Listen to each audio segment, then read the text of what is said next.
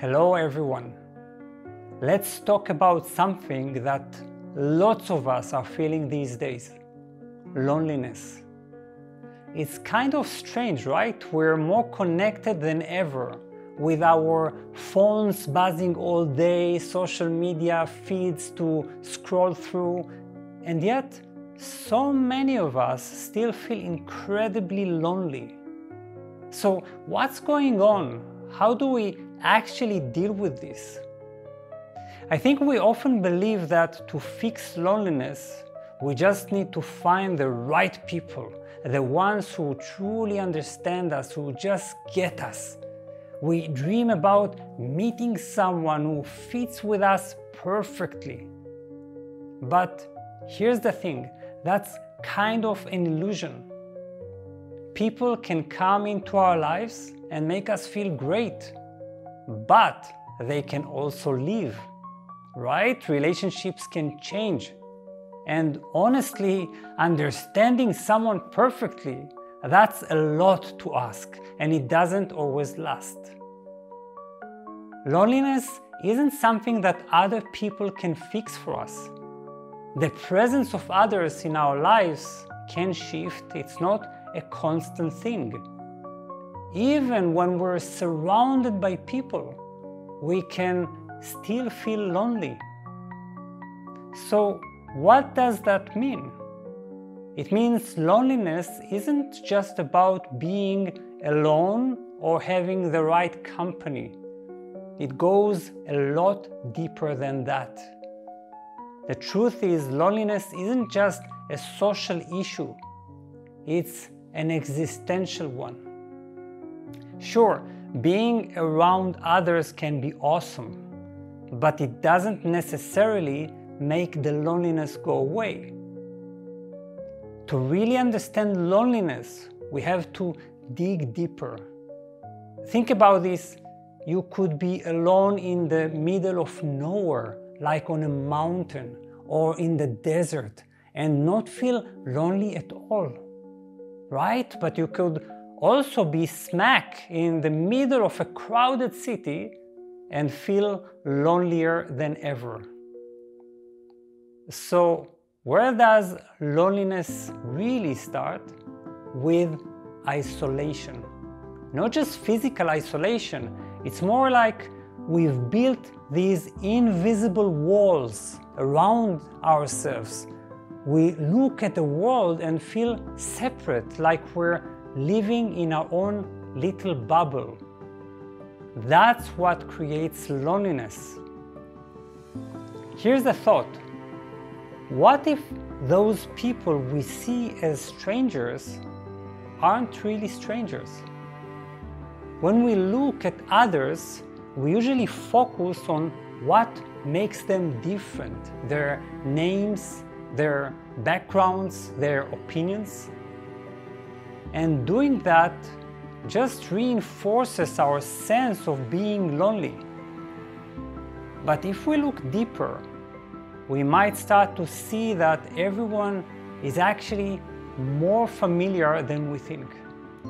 We're not really strangers to each other. And here's where it gets interesting. This deep connection we all share can sometimes be overwhelming. Ever notice how social situations can feel awkward? It's not because we don't have enough intimacy. Maybe it's because we have too much of it and we don't quite know how to handle it. But if we can recognize this connection, that feeling of loneliness can start to melt away. So imagine feeling at home no matter where you are, not just in your house, but everywhere.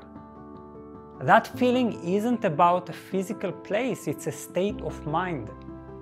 So it's realizing that we share something deep with everyone around us. We are open systems, inhaling and exhaling the same air. We share the same life force with everyone. The more we focus on what makes us different, the more isolated we feel.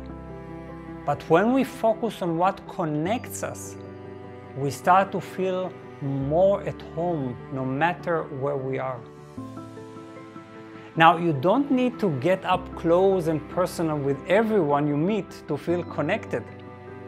Sometimes it's just about changing how we see people.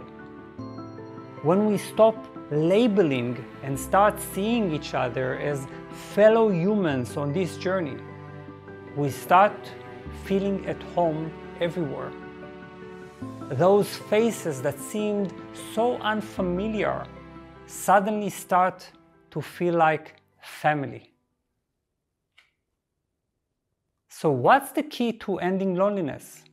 Here's the surprise it's learning to be alone together.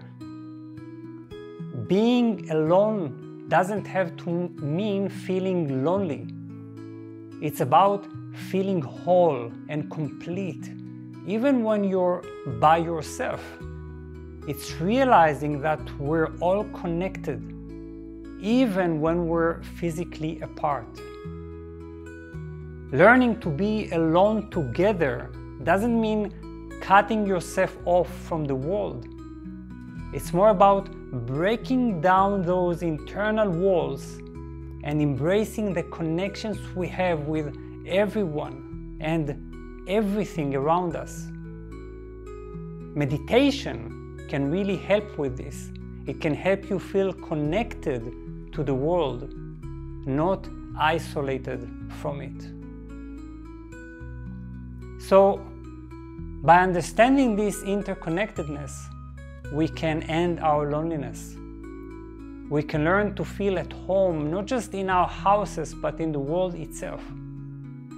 It all starts with a shift in how we see things, a journey from seeing strangers to seeing familiar faces, from feeling isolated to feeling at home everywhere.